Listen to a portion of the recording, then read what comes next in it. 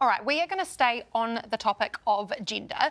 This year, the Disinformation Project reported a surge in online hate towards rainbow communities that was so extreme it was described as genocidal.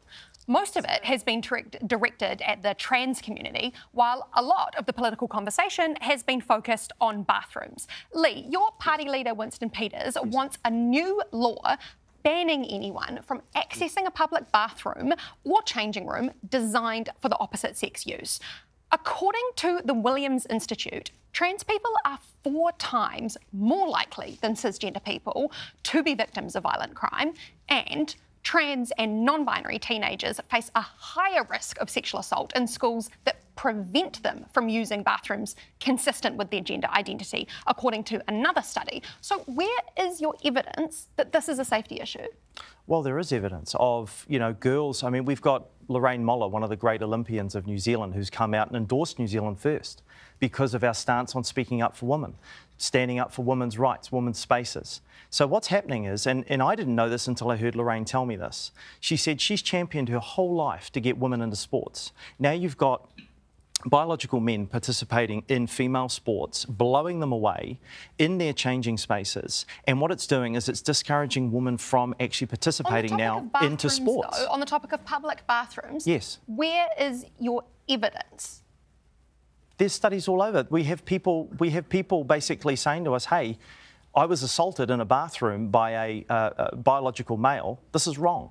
And you know, you have you have biological men getting changed in women's spaces, and so it's have, and it's scaring women. So you and have anecdotal everyone, evidence, but no, you don't have. I don't have the statistics in front of you, you right now, you... but it, it's a true thing. It's a real thing. We're not on another planet. There are a lot of people concerned with this, not just in New Zealand, all over the world. How... And we want to stand up for women. We want to stand up for women's spaces. We want to make sure everyone's safe. With your bathroom policy, particularly at schools, how are you going to enforce it? Are you going to get teachers to what do genital checks at the door or? What a stupid question. No, I, I think. Then, I then think how? That's that's ridiculous. And you how, know, making a mockery out of this and women's spaces is just uncalled for. And the, the, pendulum's gone so far to the radical left. You think this is normal? This is not normal. Um, all we're doing is sticking up for policy? women. If you want a new law, how are you going to enforce it? in schools.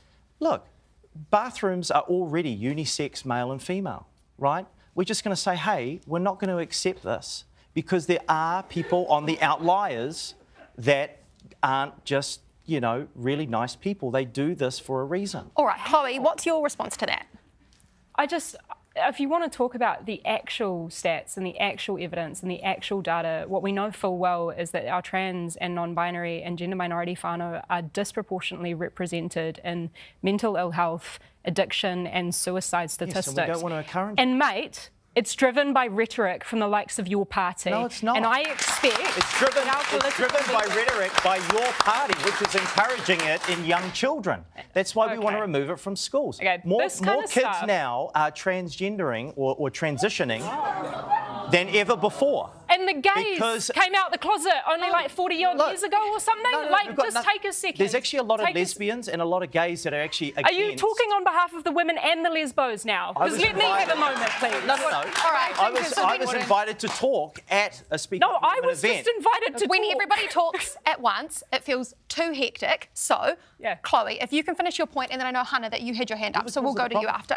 Chloe. Well, speaking on behalf of the woke lesbos, what I do have to say no, is that ultimately, well, no, I did. Uh, yes, did. Because the yes, exactly, and the rhetoric and the fear mongering behind the likes of what you and your party are putting forward are harming people in our communities because it is not evidence based. And ultimately, I think that there is a responsibility for political leaders to turn down the temperature on this and to take responsibility for the consequences yes. of their rhetoric, which are hurting people in our communities. Little kids don't need mate, to be exposed mate, pay attention right, like to the to... actual evidence here. That Listen the to the academics. I'm going to smash the buzzer. If we talk over each other, I'm genuinely to agree to disagree. I think it's important that people, you know. I'm not going to deny people's existence. I'm sorry. All right, I, it's the bottom line. We don't Deny anyone's existence.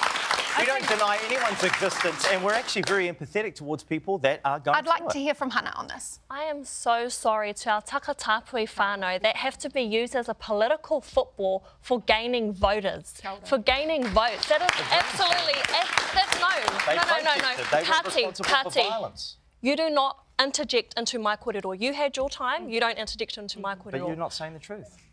I will speak my truth, you speak your truth. Not Don't you come into my korero. not how No, it you works. can't. All right, we'd like to hear from Hannah, and if we're talking over each other, I'm going to start slamming the buzzer. Sure.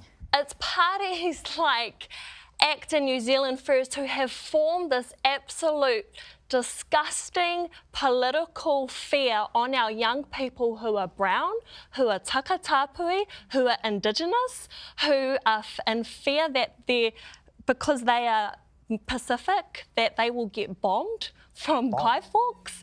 There's just all this different korero that's going around, and you have to keep these people accountable mm. that actually colonialism brought in this idea of putting us into boxes, whether we are uh, male or female. In a Māori context, you are actually ira wahine, ira, ira tāne, which is, but at the end of the day, you are ira tangata, you are a human, and you should be treated just like a human should be treated on a marae and our kura, which is the upright respects of human rights. Thank you, Hannah.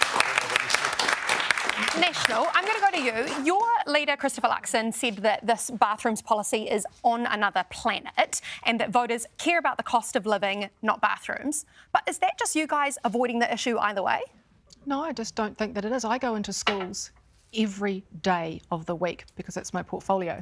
And I ask them this question how do you deal with it, especially in a primary school where you've got uh, a child who is gender diverse? And the schools say, well, we just deal with it. We, we have a, either use a staff bathroom or we assign them a bathroom, and it's not a problem. Schools are a good You know what? for this. It's really not a problem.